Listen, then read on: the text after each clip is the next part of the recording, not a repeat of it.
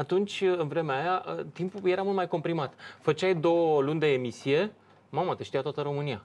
Pentru că nu exista decât o televiziune care emita de la 11 la 12 noaptea, în fiecare seară, și anume SOTI, o televiziune independentă, și restul era Tristețea TVR, da? care și pe vremea aia era la fel de trist. Bun, uh, și eu eram, uh, cum să spun, cu Esca acolo, cu Denisa Vlaicu și încă vreo câțiva, noi eram singurii la care te, te puteai uita și care eram altfel decât ceilalți, care spuneam altceva. Nu mereu, că nici la noi nu se putea mereu. Și la noi era cenzură. Da, era ceva acolo. Mai era, era un domn uh, care tăia cu foarfeca, ca să-ți imaginezi cum se făceau știrile la noi. Veneau pe fax, uh, ieșea printul de la fax, nu știu, un metru, doi de fax și venea unul cu foarfeca, nici nu mai știu cum îl cheamă, care era un fel de redactor, ceva, înțeleg că fusese în TVR cenzor. Și pe acolo erau unii băgați, așa. Și le tăia cu foarfeca și după aia le lipea cu clay uh, pe o foaie A4, știi? Și ale erau știrile, deci Mediafax, nu, nu era Mediafax, era, Nu era încă. uh, IM Press, și uh, Rompress, Rompress, mă rog, Agent exact. Press, da. Exact. Asta erau. Și nu exista editare. Eu am inventat editarea la SOTI, desfăcând din cutie un calculator pe care îl useseră americanii și punându-i WordPress acolo, că asta era pe vremea aia, WordPress, nu, asta e Nu, WordPress. Word- Word era. Perfect. Word- Word- Word, Word Perfect, Perfect, exact, înainte de exact. asta. Uh, și a mai fost în vremea aia unul care se numea WordStar sau cam așa ceva. Noi foloseam Word Perfect. WP.exe. Când așa îl lansai, știi, era o foaie de, o, o, un prompt de, de dialog cu calculatorul, nu era încă interfață grafică. Deci îți dai seama cât de bătrâni suntem, de pe vremea de dinainte de a fi interfață grafică la calculatoare. Exact. Uh, Și acum faci online. Dar chiar atunci, Da. de exemplu, când te, te oprea lumea pe stradă, eh, atunci ce ziceau? Când, când chiar, cum spuneai, era, se comprima de mult timp încât o, într-o lună de, de prezență pe TV, deja Da, chiar era erai o persoană cunoscut. cunoscut. Chiar. Păi, uh, ca să-ți, uh, să-ți dai seama de care era situația, în vremea aceea uh, părinții noștri erau aproape toți feseniști. Deci în 1990, uh, strămoșul PSD-ului, FSNO, a luat aproximativ 86% din voturi. Mă, 86% din voturi. Dați seama cât de tâmpiți erau oamenii. Dar tâmpiți așa, la nivel de masă. Nu exista varietate, nu existau mai, și mai multe idei, mai multe partide. Opoziția a luat vreo 15% din voturi. Ocazie cu care noi ne-am lămurit de ce România e diferită de restul țărilor. Pentru că n-am avut nici dizidență, n-au avut timp să se porneze curente de idei, n-a avut timp să se întâmple absolut nimic din punct de vedere al evoluției normale a unei societăți. Am avut ceaușism și ăsta a fost toxic pentru, pentru viața civică a României. Deci am ajuns la 15%, în București, firește, cred că luase vreo 20-25% opoziția, deci era bine de tot. Asta înseamnă că din patru oameni, unul m-ar fi scuipat dacă, sau m-ar fi bătut, dacă putea. Restul mă mai felicitau, adică așa, Să ne audă ceilalți. unul din cinci mai zicea, bravo, țineți-o tot așa. În rest, oamenii se încruntau la tine. Păi tu erai opoziția, erai plătit de...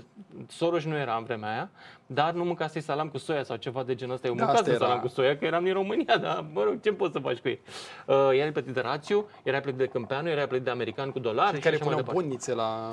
Mai ții minte, erau Da. acele legende cu... Da, erau tot fel de legende și de tâmpenii lansate de băieții ăștia de strămoși și psd de azi. Dar tu te, te simțeai cumva la un moment dat copleșit de valul ăsta? Adică, poate, totuși, ăștia, ori avea ăștia dreptate și Nu, n-am mie nu eu. mi se pare că asta e o meserie ce fac eu. Uh, De asemenea, nici părinților mei li se părea că îmi pierd vremea mea și că îmi risc uh, cariera. Planul era să mă fac inginer, uh, nici vorbă de... De asemenea, nici nu imaginam că vreodată aș putea să trăiesc din media, deoarece noi la SOTI nu eram plătiți. Eu eram paznic de noapte la o fabrică, mă mai duceam și la facultate uh, în timpul liber și noaptea mă duceam la SOTI, deci era complet uh, crazy chestia. SOTI era un hobby. Tu având, Televiziune. având atunci ca direcție, mă, dacă mă duc la Soti ca să ce? Așa, mă duceam acolo ca De să... ce m-am dus? Uh, cum să zic, eu am în 90 imediat după, chiar în 24 decembrie, a, m-a luat flama. Știi? În, 20, în 89, nu în 90. M-a luat flama și am simțit nevoia să fac ceva diferit de tot ce făcusem până atunci cu viața mea și uh, ca mulți alții. Noi am spart uh, sediul ce, uh, în facultate avea, era un fel de UASCR se numea, un fel de organizație a studenților comuniști. Așa. Și am spart sediul acestor UASCR nu mai era nimeni acolo, l-am ocupat și ne-am făcut o revistă. Noi din, re- din uh, facultatea de construcții. După care am evoluat, ne-am apucat să fac uh, Liga Studenților din facultate, am mers în Liga Studenților Mare, am mers la meeting-uri, am fondat Liga Studenților din România, tot felul de chestii. Uh, și la un moment dat uh, am trecut de partea cealaltă a baricadei când a murit un coleg uh, de-ai mei. Uh, Frumușanu, da. uh, Andrei Frumușanu a murit săracul nevinovat, trecea pe lângă un meeting în 1991 pe la...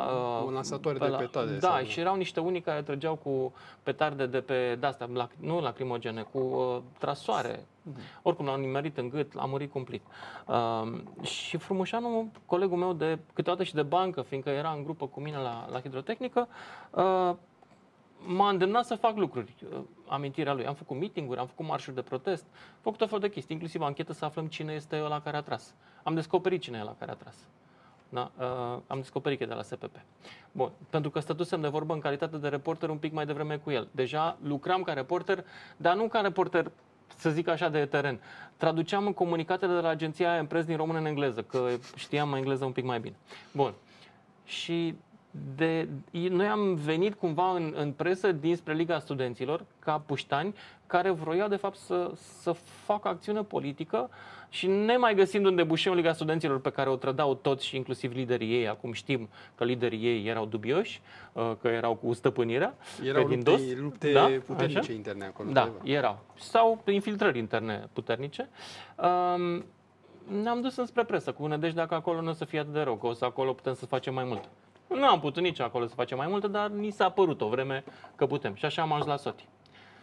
Mergând la conferință de presă, cunoscând o angajată de acolo, Amalia Enache, care acum este în Bruxelles, și m-a invitat acolo că se îmbolnăvise prezentatorul lor bărbat.